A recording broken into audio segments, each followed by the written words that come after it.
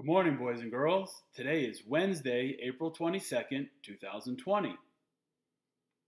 So, today's character strength is independence. I can show independence. Do you remember what it means to show independence? That's right, I can do it by myself.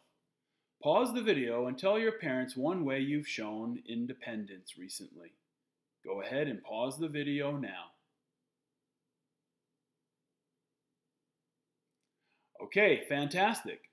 Today's four digit number is 7,214. 7,214. Pause the video and tell your parents which digit belongs in the ones place, the tens place, the hundreds place, and finally the thousands place. Pause the video now.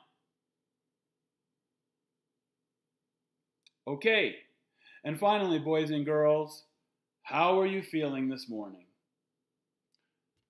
Pause the video and tell your parents how you're feeling this morning. Okay, boys and girls, I hope you had a great day yesterday, and I hope you have a great day today. Take care for now.